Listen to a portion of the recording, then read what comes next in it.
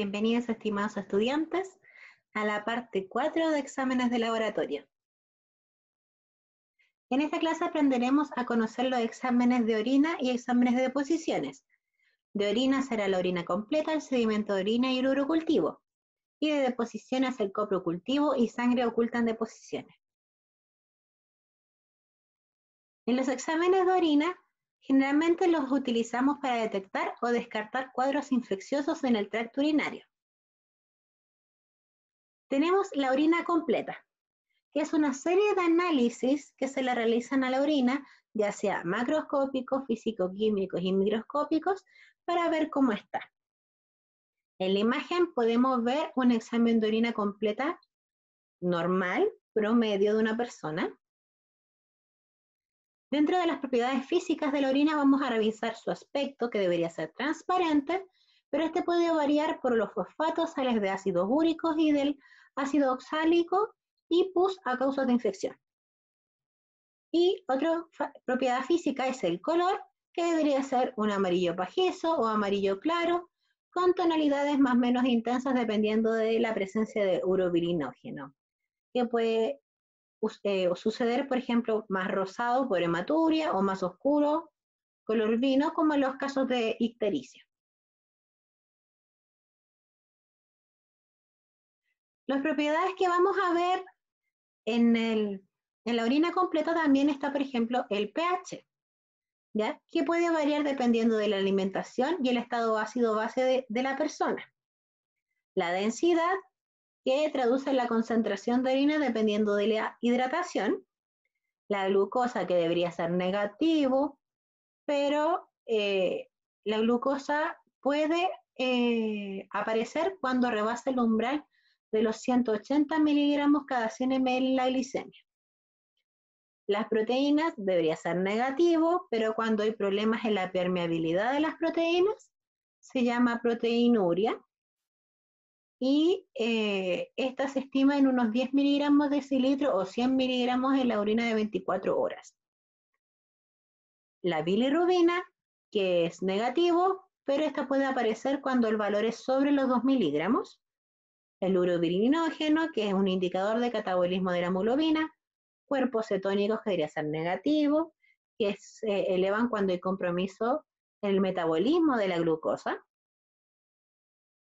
los nitritos, que también debería ser negativo, pero cuando hay infección aumentan, y hemoglobina, que es cuando hay consecuencias de hemólisis intravasculares.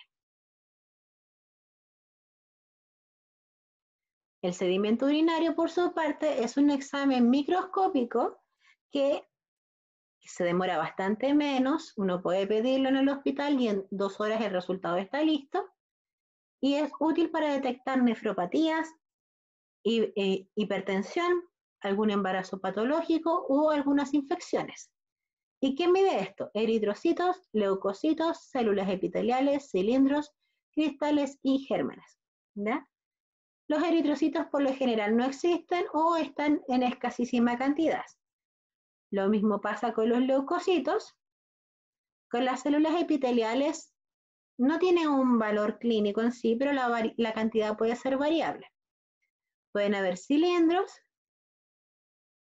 que eh, están generalmente en pequeñas cantidades y los cilindros granulosos o los epiteliales, si llegamos a encontrar de eso en el sedimento urinario, significa que es patológico.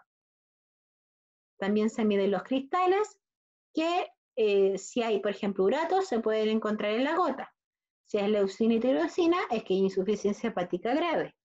Si hay oxalatos que precipitan en orinas ácidas y los fosfatos en orinas alcalinas.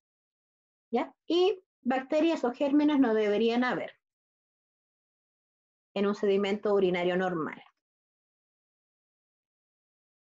El urocultivo, al igual que el, hemocultivo, es un cultivo de, esta, de la orina, en este caso, y eh, se utiliza para definir si es que hay una infección. ¿ya? Pero si en, el, si en la muestra, como podemos ver en la imagen, si en la muestra en sí hay bacterias, no significa que haya una infección propiamente tal. lo que determina la, la infección es el recuento de colonias que se mide en UFC. Si encontramos en, la, en la placa más de dos especies bacterianas, puede que haya una contaminación por una adecuada manipulación de la muestra, una mala toma de la muestra. Y los resultados generalmente demoran cinco días, al igual que el hemocultivo, pero en algunos laboratorios u hospitales se pueden tener un preinforme a los tres días. Y ahí están los resultados dependiendo de si es que hay una infección propiamente tal o no. El clínex de creatinina en orina, también al igual que el de sangre, mide la función renal, pero puede tener errores porque es poco fiable las oligurias cuando hay poca eliminación de orina, cuando uno orina poco, por esto que se une a la creatinina plasmática. Y ahí están los valores normales. Por otra parte, los exámenes de deposiciones son comunes en etología para detectar o descartar alguna infección hemorrágica digestiva. Por ejemplo, también se indican en las diarreas crónicas, en las insuficiencias digestivas o en situaciones que necesitamos detectar si es que nuestra usuaria o usuario tiene algún germen o parásito. Estas se pueden evaluar en la cantidad dependiendo de la dieta y de la existencia de estreñimiento o diarrea.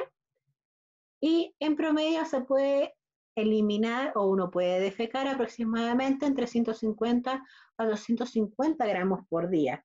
Las personas vegetarianas tienden a eliminar más deposiciones llegando a 370 gramos o más. Y las personas que comen bastante carne pueden incluso eliminar solo 60 gramos diarios. También se evalúa la consistencia de la deposición, que debería ser sólida y formada. Se evalúa el color, que con una dieta mixta debería ser un color pardo, más o menos oscuro en el adulto, y se puede ir oscureciendo a medida que pasa el tiempo expuesta al aire. Se ve su olor, que debería tener un olor fecal característico, que eh, se hace fétido por causa de la putrefacción de las proteínas ingeridas o endógenas. Y en ocasiones puede haber moco, que suele ser reconocible microscópicamente y está relacionado a inflamaciones en el tracto digestivo o diarreas prolongadas. Al igual que lo vimos en el urocultivo y en el hemocultivo, las deposiciones también tienen cultivo que se llama coprocultivo. Y esta es cuando nosotros hacemos cultivo desde las deposiciones para la detección de algún agente microbiano patológico. ¿Ya? Lo normal es que no existan agentes externos a la flora normal residente en nuestras deposiciones. Otro examen sería la sangre oculta en deposiciones. ¿Qué es un análisis químico que se realiza, por ejemplo, con el método Weber, con la tintura de guayaco, que tiene interés en la sospecha de alguna hemorragia digestiva subclínica, es decir, nosotros vemos una deposición, aparentemente de un color pardo normal, pero puede que microscópicamente sí tenga sangre. ¿Ya? Para realizar este examen, lo ideal es que la persona durante tres días antes a la toma de este examen haya consumido una dieta libre de carne y de verduras verdes. Y en los recién nacidos se solicita frente a la sospecha de una enterocolitis necrotizante. Ahora vamos a hacer una última pregunta. ¿El examen de orina completa es un examen útil para detectar una infección urinaria? Sí, no, ¿por qué? Pueden ponerle pausa al video para esperar la respuesta.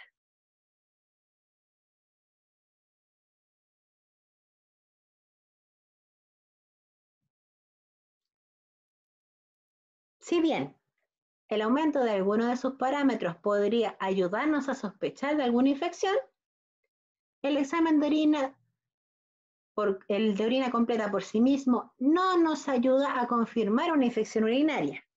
Para ello se solicita un urocultivo con un antibiograma.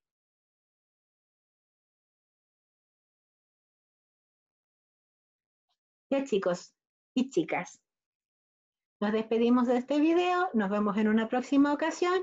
Recuerden poner todas sus dudas en la plataforma. Nos vemos en una próxima clase.